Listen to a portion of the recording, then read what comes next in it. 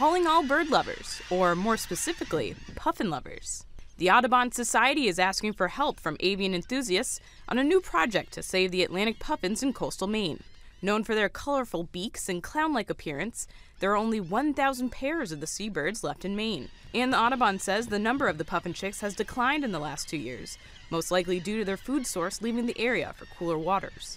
But with the help of a puffin cam, Audubon officials like Steve Kress are able to keep tabs on key puffin habitats. Explore.org, an LA based nonprofit that runs dozens of wildlife web cameras, is helping too. So we began this great collaboration in 2012 in which we put three puffin cameras, high definition cameras on puffin on the puffin nesting island called Seal Island National Wildlife Refuge. Volunteers are being asked to watch the feeds and help answer questions about the puffin's daily behavior. This year, the Audubon is focusing their efforts on one puffin chick in particular that they've named Pal.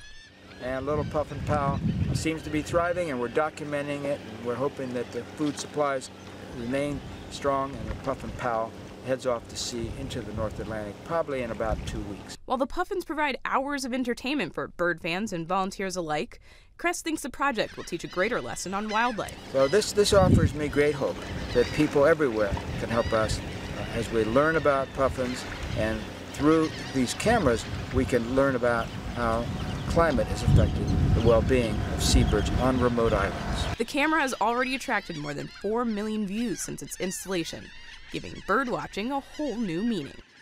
Emily Roseman, The Associated Press.